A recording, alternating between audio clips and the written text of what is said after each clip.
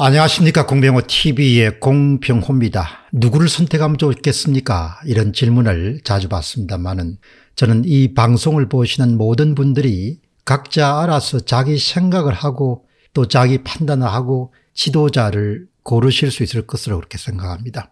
저는 누구를 지지한다는 등과 같은 주장을 앞으로도 할 생각이 별로 없습니다. 다만 어떤 후보가 옳은 말을 할 때는 당연히 국민의 알 권리 차원에서 널리 옳은 말을 알려야 된다고 생각합니다. 마찬가지로 어떤 후보가 말도 되지 않는 그야말로 하얀 거짓말, 빨간 거짓말을 외칠 때는 그것이 옳지 않기 때문에 그 옳지 않음을 지적해야 된다고 생각합니다. 그러니까 어떤 인간에 대한 호불호를 떠나가지고 그 인간이 내뱉는 말과 그 인간이 쓰는 그 글자, 문장에 대한 그런 옳고 그름을 따진다 이렇게 보시면 좋겠습니다.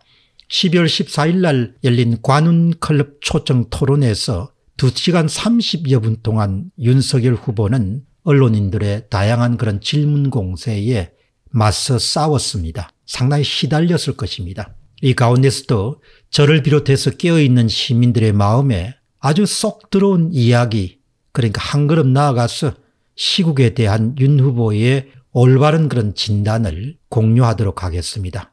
그러나 이 발언이나 이런 방송이 특정 후보를 지지하기 위해서 만들어졌다 이렇게 생각하시는 분들은 없으시길 바랍니다. 윤 후보의 발언 가운데서도 귀와 눈을 사로잡은 표현은 바로 혁명의 도구라는 겁니다. 혁명과 도구가 합쳐진 겁니다. 혁명을 위한 도구와 수단이라는 것입니다. 질문자가 관훈클럽 토론에서 묻습니다. 문재인 정부 검찰개혁에 대해서 윤 후보는 어떻게 평가하십니까? 이런 질문이 주어지자 윤석열다운 답변이자 그의 속내를 잘 담은 답변은 다음과 같습니다. 검찰개혁이라고 하는 것은 수사권을 빼앗아서 경찰과 공수처에 나누어주는 게 검찰개혁이 아닙니다. 문정부의 검찰개혁은 검찰을 그냥 소나기에 넣고 하수인으로 만드는 것입니다. 지금 검찰의 대장동 수사를 보시기 바랍니다.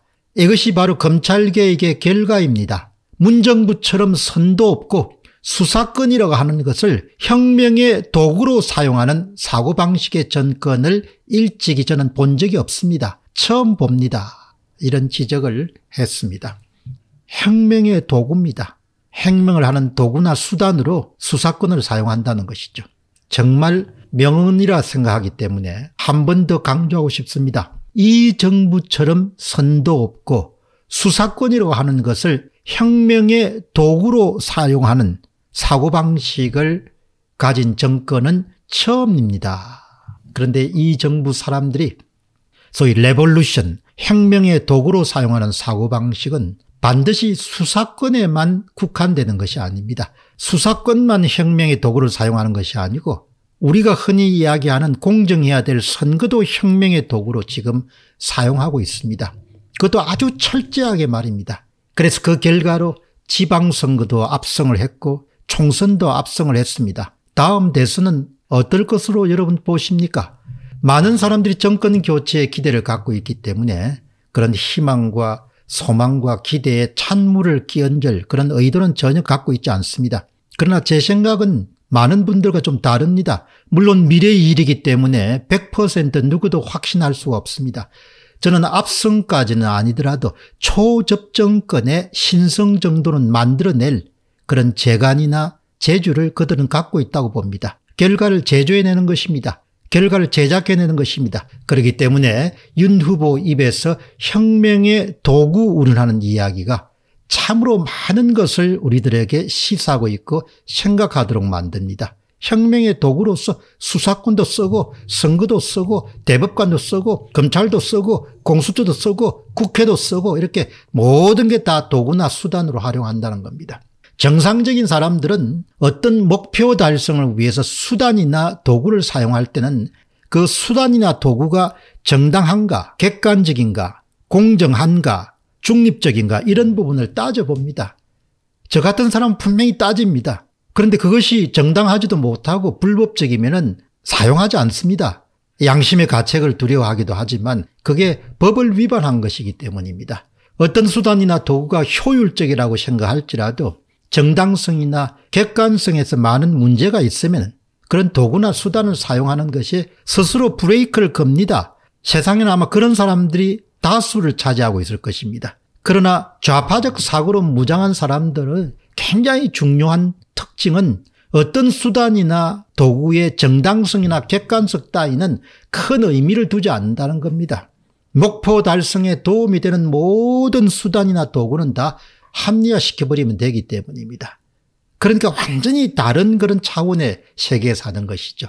우리 현대사에서 586 운동권 정치인이 갖고 있는 것이 바로 이런 특징입니다. 목표 달성에 도움이 된다면 그것이 정의로운 것이건 그것이 합법적이건 이런 것도 중요하지 않다는 겁니다. 모든 것은 다 합법화될 수 있고 합리화될 수 있다. 이런 사고방식을 갖고 있는 겁니다. 그렇기 때문에 자신들이 수확하려고 하는 혁명에 도움이 되는 모든 것들은 그것이 거짓이든 선전선동이든 속임수든 불법이든 아무 문제가 될 게 없다는 겁니다. 우리가 지금 살아가는 한국의 현실이고 우리가 앞으로 살아가게 될 한국의 현실입니다. 지난 12월 9일 날 문 대통령은 바이든 미국 대통령이 주장한 그 주최한 민주주의 정상회담 본회의에서 개인의 자유와 표현의 자유는 확고히 보장하되 모두를 위한 자유와 조화를 이룰 수 있어야 되고 가짜 뉴스로부터 민주주의를 지킬 자정 능력을 키워야 된다. 이런 역설을 했습니다. 그 내용을 저는 보도를 보고 문 대통령 입에서 민주주의 운운하는 이야기, 민주주의 강화 운운하는 이야기, 가짜 뉴스성이 자연스럽게 흘러나온 것에서 정말 참 냉소적이었습니다. 실소를 금할 수가 없었습니다. 듣고 싶은 정보 외에 모든 것을 철저하게 통제하는 사회로 우리가 지금 가고 있는 것은 그냥 꿈인 말이 아니고 현실입니다. 한 해 전에 비해서 점점 더 표현의 자유는 위축되고 있습니다. 통제가 이만저만이 아닙니다. 이 방송도 마찬가지입니다.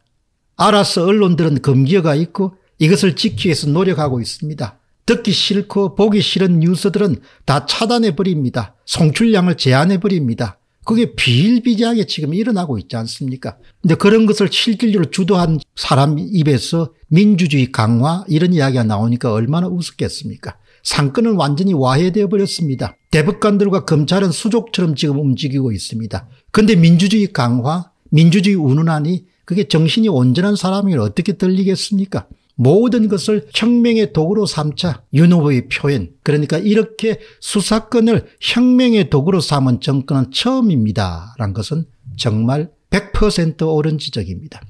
저는 이런 말을 더 하고 싶습니다. 혁명의 도구로 삼는 것이 어디 수사권 뿐이겠습니까?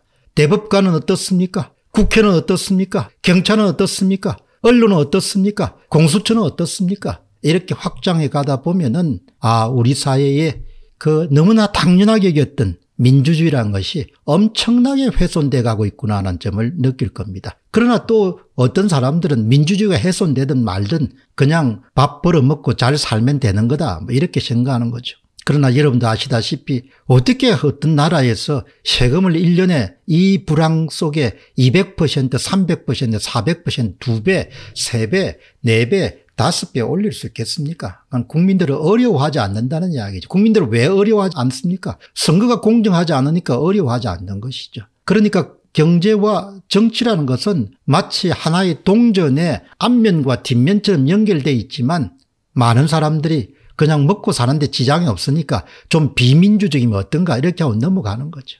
이제 그런 문제에 대해서 좀 더 깨어있고 자기 주장을 발신할 수 있는 더 많은 시민들이 나와야 우리 사회가 온전한 사회, 더 풍요로운 사회, 더 역동적인 사회로 계속해서 전진할 수 있지 않겠느냐 그런 생각을 하게 됩니다. 공병호 TV의 공병호였습니다. 감사합니다.